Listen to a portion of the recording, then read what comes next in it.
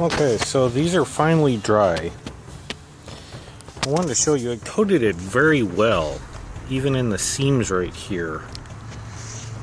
All the seams, it coated it very well. I needed to fill this in, and it did that for uh, the most part. And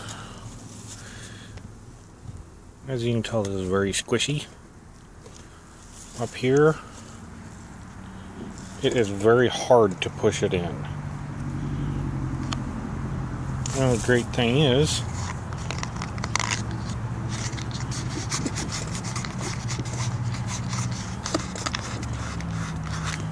pretty much just wipes right out.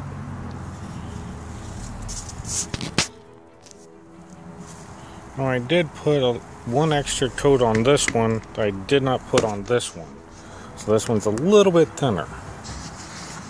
As you can tell, this just comes right out. And it is very, very thick and hard to push on.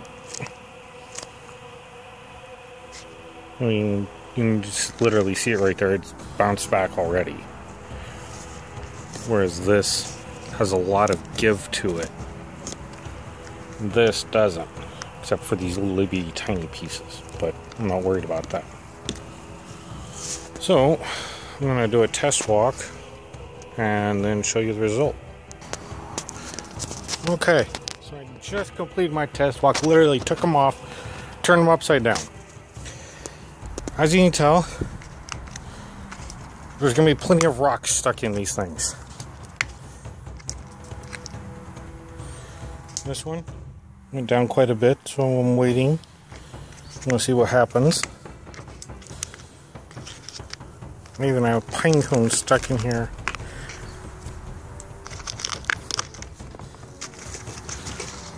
Walking is definitely to be the hardest thing on these. Might coat it a couple more times.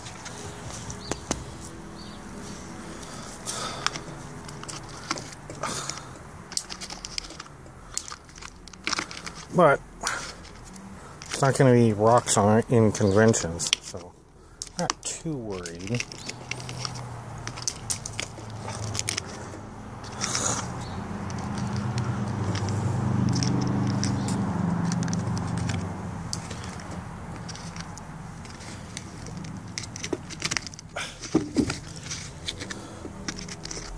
But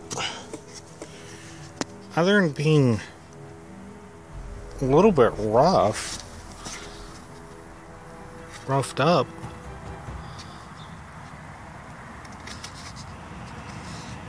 it held very well. Nothing came off. That's always a good thing.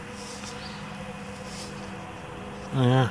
You can even see here that this is slowly coming back into its original shape. So I'm very happy with this. Might buy another can and coat it a couple more times just to give it that little extra protection. But other than that, oh yeah, totally recommend this. This is going to give that literally rubber sole like you have on your shoes because, yes, these are going to be the boots I wear.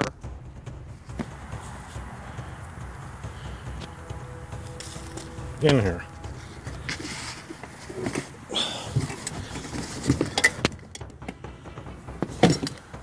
Mm. Yeah. Put this to seal the knee guard to the shin. I put a plate down there that this moves through.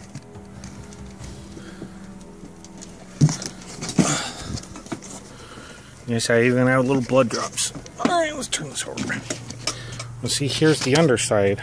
Plate that is literally mounted directly to the boot that that hole's cut in.